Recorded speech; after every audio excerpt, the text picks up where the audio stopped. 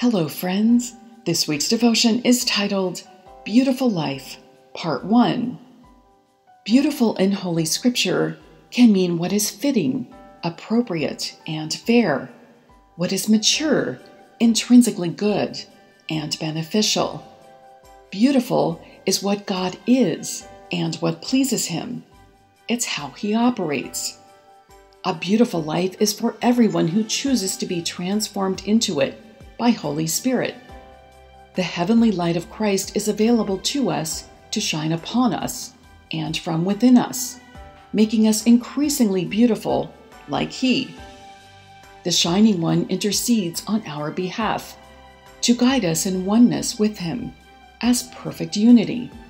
This kind of harmony is Father's desire for us to live His best life above lesser things, to take dominion and expand his kingdom. A beautiful life is what he's highlighting to us right now as we come more into his light. Psalm 96, verse 6 tells us breathtaking brilliance and awe inspiring majesty radiate from his shining presence. His stunning beauty overwhelms all who come before him. So we see here that this purest beauty comes from Him as our source, who leads us in a life of significance beyond ourselves. It is appropriated by faith as we come near to experience Him in new ways. Our Lord desires that we become even lovelier sanctuaries of His presence. He desires that we take hold of His hand and receive more of His beauty in our lives. Who wouldn't want a more beautiful life? Ephesians 5, verses 8 through 10 remind us that once your life was full of sin's darkness, but now you have the very light of our Lord shining through you because of your union with Him. Your mission is to live as children flooded with His revelation light, and the supernatural fruits of His light will be seen in you goodness, righteousness, and truth then you will learn to choose what is beautiful to our Lord.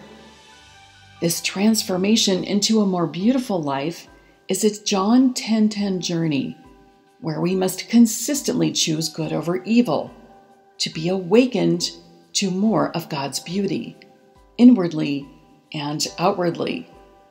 In this way, God offers us a tree of life streaming from his righteousness, wisdom, and insight. We can choose to become a tree of life, planted by a riverbank, always producing fruit and prospering in all we do. God has much for us forward, even beyond ourselves, and therefore desires to strengthen us in Him. Proverbs 11, verse 30 reminds us that a life lived loving God bears lasting fruit for the one who was truly wise wins souls. In Revelation 22, verses 1 and 2, John says, The angel showed me water of life river, crystal bright. It flowed from the throne of God and the Lamb, right down the middle of the street. The tree of life was planted on each side of the river, producing 12 kinds of fruit a ripe fruit each month. The leaves of the tree are for healing the nations. So, for us to be fruit bearing instruments, God must be our center, just as the tree of life was center in the Garden of Eden, aware that the tree of good and evil was also there. As we activate this tree of life wisdom by faith, we will walk out a life of complete beauty with God no matter what our circumstances. We will see Him and know His beautiful way in the midst of any situation as we seek Him. Proverbs 3 verses 17 and 18 tell us that the ways of wisdom are sweet, always drawing you into the place of wholeness. Seeking for her brings the discovery of untold blessings, for she is the healing tree of life to those who taste her fruits. The message version of Proverbs 3, verses 17 and 18 reiterates this by saying, Her manner is beautiful, her life wonderfully complete. She's the very tree of life to those who embrace her. Hold her tight and be blessed. Friends, God is bringing completeness to our hearts, some assignments and areas of our lives, past, present, and future. He is our completer who matures us and makes our lives beautiful. His higher ways will produce an outcome beyond what we can think or imagine. So, do you trust Him?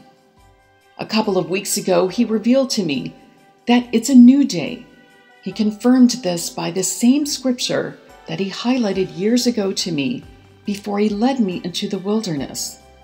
In this, I realized that the same word that leads us closer to Him inwardly also leads us to awaken outwardly. This word is Song of Songs 2, verse 13, which says, Can you not discern this new day of destiny breaking forth around you?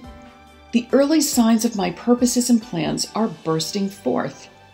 The budding vines of new life are now blooming everywhere. The fragrance of their flowers whispers. There is change in the air. Arise, my love, my beautiful companion, and run with me to the higher place, for now is the time to arise and come away with me. Friends, God is doing new things in our lives right this moment. Are we seeing it? Are we sinking with Him? Are we laying down old ways and picking up His new? He desires that we come into his fulfillment of promises, to prove out our beautiful lives as living testimonies.